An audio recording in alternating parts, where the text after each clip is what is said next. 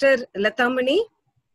I will simply say that you have made me happy, since happiness is the theme of the evening.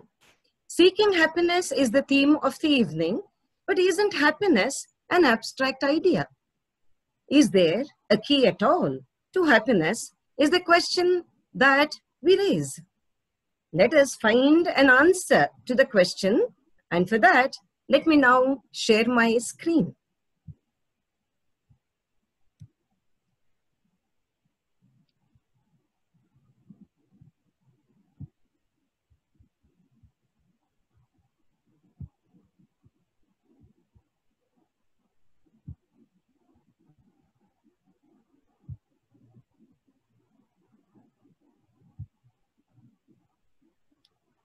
Well, the question I have asked is whether there is a key. Probably the answer is that there isn't a single key to happiness, but there could be multiple keys to happiness. Now, do you all agree with me if I were to say that some of us find great happiness in the food that we eat? Well, we do. That is why the outgoing Sergeant at Arms, Matarani tells the incoming Sergeant at Arms Roshni, in addition to your warm welcome at the beginning of meetings, make sure once this pandemic is over that you're going to give to all the members fine breakfast. Well, some of us find happiness, not some of us, maybe most of us find happiness in wealth, in money, but then, what is money if it is not well invested? Don't you all agree with me that our investment in Toastmasters has given us immense happiness? And that is why outgoing Toastmaster Joan tells incoming Toastmaster Saurav that you will never have a problem because winners' coffers are always overflowing. Some of us find happiness in the work that we do. Yes, many of us know that. Fun comes before work only in a dictionary. That is why our meticulous secretary, Sweta, tells our even more meticulous DTM Veera that your work as secretary will give you happiness. Well, Toastmasters and distinguished guests all over the world, now people know that India's Namaste is the best salutation, greeting that one can have. So, our VPPR will also tell you that yes, find your happiness in doing Namaste. From DTM Bharati to DTM Brian, this is a piece of counsel while seeking happiness.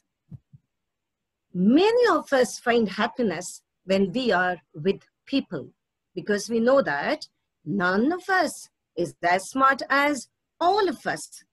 That is why outgoing VP membership tells incoming VP membership TM Joan, outgoing is Sony, she tells Joan that always hold people together with the ring of friendship. Many of us probably know that the higher echelons of happiness will always be when it comes to the question of knowledge. Knowledge, the art of knowledge, will give many of us happiness. Yes, indeed. The outgoing VP education had a lot of happiness in ensuring that we kept our knowledge overflowing by drinking it to lees at times and at times having it as a full cup. She tells the incoming VP education to keep even the awards in mind. Why the awards? Because for many of us, having goals in life and also achieving goals in life will give immense happiness. Who else but the outgoing president Toastmaster Meena, who has this happiness, and she tells Debbie, in my